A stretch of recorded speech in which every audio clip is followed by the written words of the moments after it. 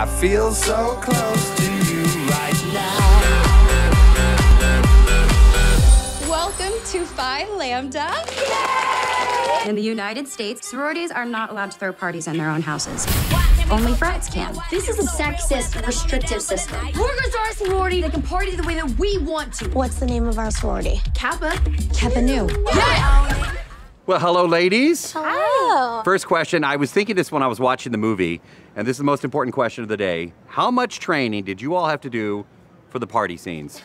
Training. Yes, because that's important. You got to get it right. Really trained. Nothing gets you ready for those lights. Yeah, and the haze. They put a lot of smoke in there, and I'm asthmatic. I was like, ah. There's uh, there's like almost no music when you're doing it, so it's a bunch of people awkwardly dancing to nothing. Mm -hmm. So it's just a really weird experience.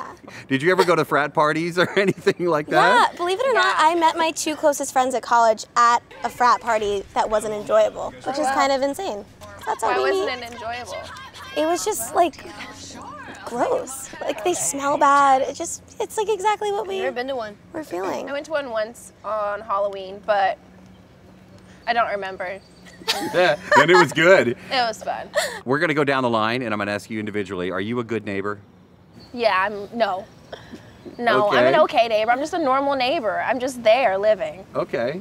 Um, I'm the type of neighbor that, that calls the cops on, on people. I'm I'm actually I'm a grandma, so you get it.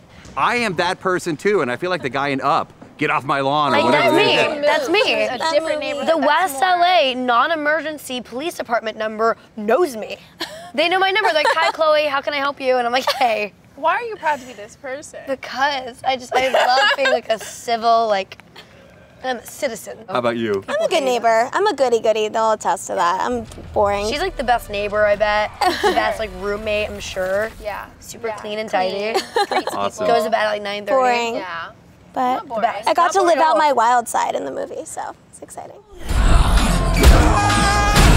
Those girls are out of control. Get away from me! Someone help me! Get out of here, you animal! This isn't working! You're only making them sexier!